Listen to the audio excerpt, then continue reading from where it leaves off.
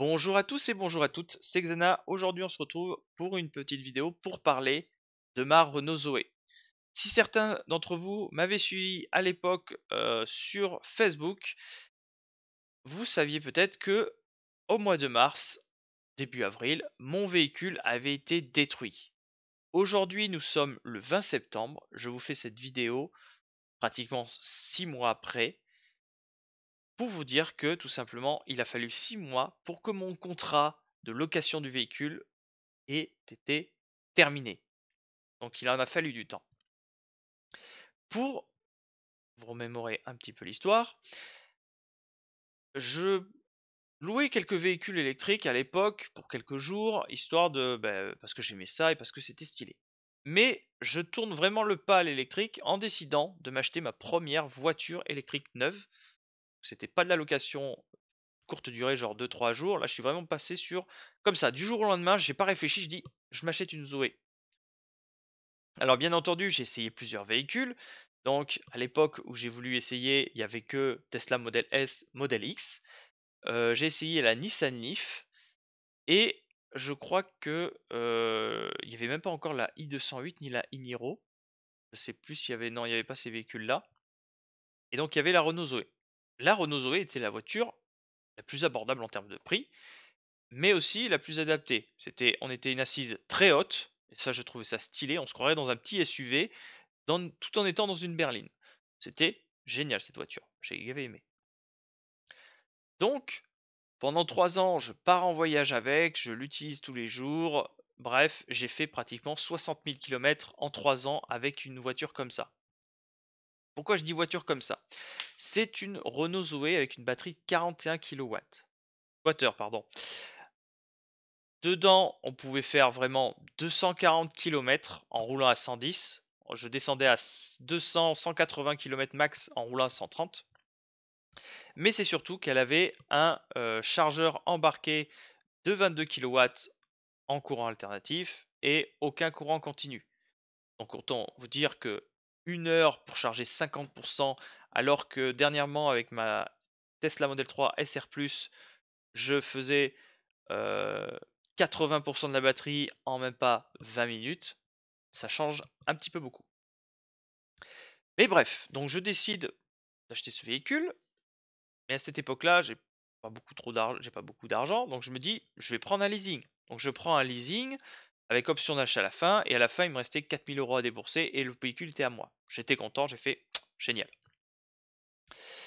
Et chose qui se faisait vraiment bien à l'époque de chez Renault, j'avais la location batterie, chose que j'avais euh, un petit peu oublié. Après je me suis dit, bon, euh, je connais pas trop la durée de vie d'une batterie euh, électrique, pourquoi pas hein. Je le prends et d'après mes comptes, si je dépassais, je crois, 5 ou 6 ans, euh, je dépassais le prix d'achat de, la batterie. Donc c'était pas trop grave en parallèle. Pourquoi pas. Et du coup, je décide de justement.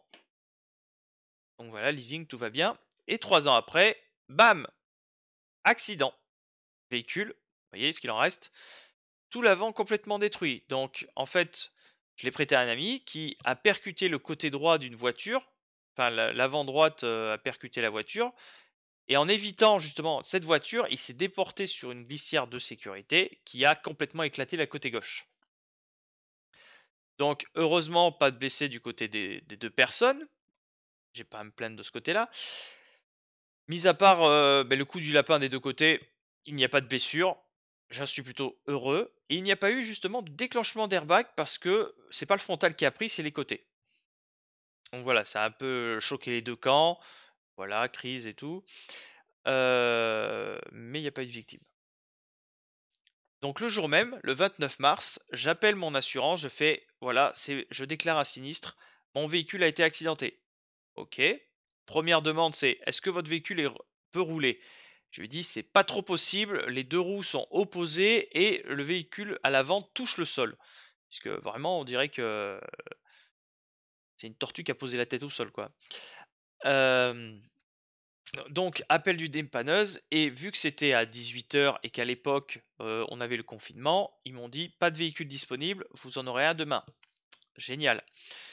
Donc, le lendemain, l'assurance me prête un véhicule 15 jours, j'ai le droit à quoi? À la nouvelle Renault Zoé. Ça me permet d'essayer, c'est stylé. Du coup, en parallèle, j'ai l'expert qui passe le 30 mars pour justement expertiser le véhicule. Là, expertise en cours, donc c'est lui qui m'envoie les photos là. Oula. Voilà avec le 2. Et pas de réponse de l'expert les jours suivants. Je me dis mais qu'est-ce qui se passe? Pourquoi il mettait autant de temps à répondre? Et finalement, comme c'est un cas de dossier de voiture électrique, ils ont estimé que la valeur du véhicule était de 12 000 euros. Voilà. 12 000 euros, euh, valeur euh, du véhicule suite à l'accident. et ils m'ont répondu cette petite phrase le 15 avril. 15 jours vraiment après l'accident. Ce à quoi euh, ils m'envoient un rapport me disant donc votre véhicule est une valeur considérée de 12 000 euros selon le marché actuel. Et les valeurs de réparation sont estimées à plus de 16 000 euros. Votre véhicule est donc déclaré épave.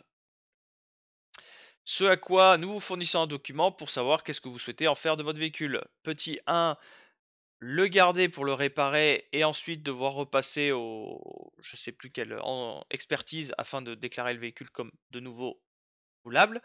Deuxièmement, le garder en pièces détachées pour vous ou pour un garagiste.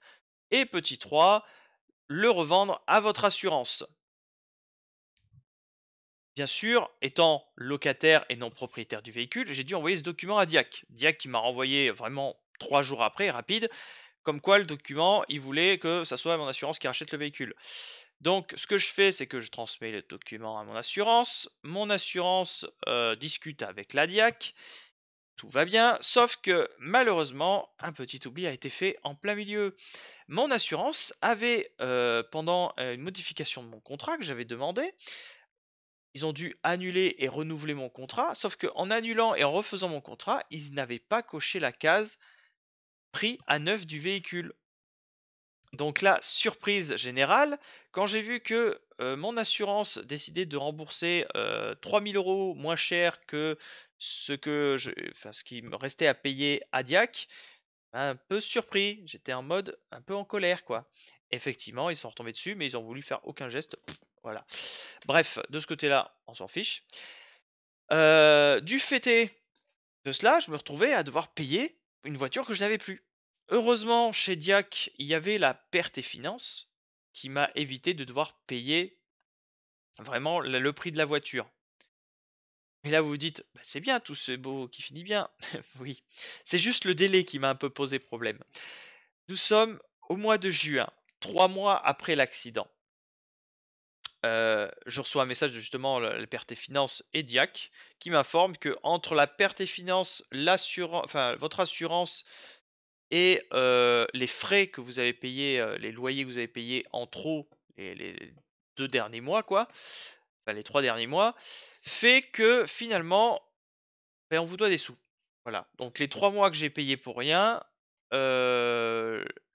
ce qu'a payé l'assurance plus la, la, FA+, donc ça a dépassé le montant des loyers restants et ils m'ont remboursé ça avec les loyers que j'avais payés en trop. Ok, c'est plutôt cool, là vous dites, le contrat est terminé. Eh ben non, il me reste la batterie.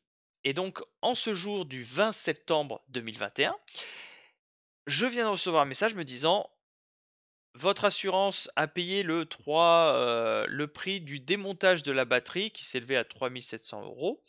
Et du fait, nous vous remboursons les loyers de la batterie payés et nous clôturons votre contrat de location. Parce que oui, il fallait attendre qu'il désosse la batterie du véhicule pour pouvoir mettre à fin, fin pardon, la location de la batterie. Eh ben dis donc, il en a fallu des mois. Et pourtant, mon assurance a payé le, vraiment le 3 euh, septembre, je crois. Voilà, pour euh, les frais de démontage et euh, de, transport de la batterie, qui était encore en bon état. Hein. Je crois qu'elle était à un soche de 90%, selon le, ce que m'avait dit le garagiste. alors que trois mois avant j'avais eu un Soch à 95%, donc il a quand même perdu un petit peu à cause de l'accident, mais pas beaucoup, et qui va être réutilisé pour une autre voiture. Là j'étais plutôt content, au moins la batterie était récupérable. Mais voilà, tout ça pour dire que si jamais ça vous arrive un jour, un grave accident sur votre véhicule, vérifiez bien que quand même vous avez l'assurance euh, véhicule à neuf, parce que ça, ça peut vraiment se jouer contre vous, surtout si vous avez un accident grave et que la voiture vaut cher. Et surtout, ben, n'allez pas chez Diac, parce que c'est un vrai bazar euh, de dialogue pour euh, justement jouer. Bon, après, c'est peut-être parce que c'est de la location aussi, ça prend du temps. Mais voilà, tout ça pour vous dire qu'il a fallu pratiquement 7 mois pour pouvoir finir de parler de cette voiture. Mais bon, malgré cette perte, ça m'a permis quand même d'avoir plusieurs points, de connaître le monde de l'électrique classique, pour passer à, l'électrique professionnel, et surtout, ben, on va dire que grâce à cet accident, d'ailleurs beaucoup de, des membres de ma famille me l'ont dit, hein, grâce à cet accident au moins, tu as pu t'acheter une Tesla. Sinon, effectivement, je serais resté avec la Renault Zoé. Je l'aurais sûrement gardé quelques temps et puis je l'aurais sûrement revendu plus tard. Mais voilà. En tout cas, bref, j'espère que cette vidéo ne vous a pas été trop longue sur comment raconter ma vie. Euh, mais si jamais un jour ça vous arrive, vous savez maintenant que cela peut prendre plusieurs mois, voire carrément une année. En tout cas, on se retrouvera à plus tard pour de nouvelles vidéos, mais sûrement pas sur une Renault Zoé. Salut à tous